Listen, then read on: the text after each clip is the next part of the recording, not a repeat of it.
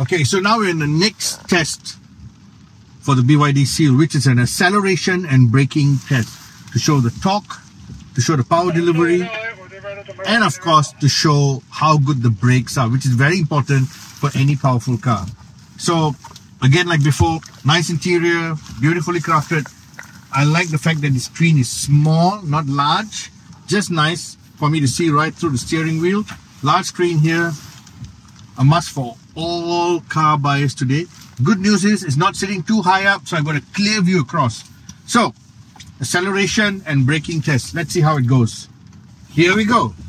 Now, we got to make a slight U-turn here to make sure we are aligned properly. Go between the two red cones. Wait for the car in front of us. Wait. So when my instructor says go, I can go. Can I go? Are you ready? Yeah, we're ready. Okay, three, two, one, go. Keep going, keep going, keep going. Brake, brake, hard, brake.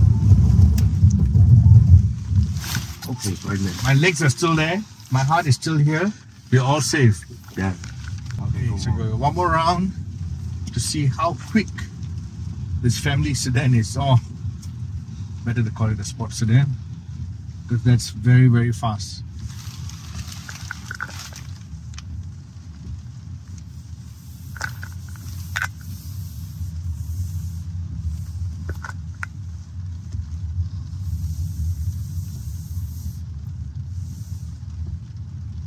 Okay, keep straight. Okay. On the Garisan. Let me know when to go. Wait, you can go. Okay. Brake, hot brake, brake, brake, brake, brake, brake, brake. My ankle just came off. No, it's still right on my leg. that was quite a bit of fun. Yeah.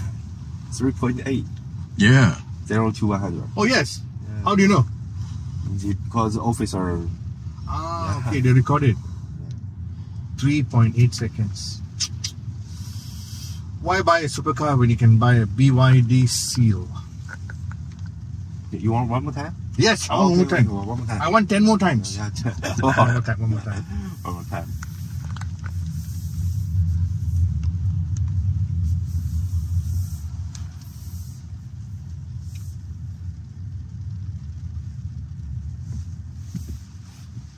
Okay, boys and girls, you ready for this?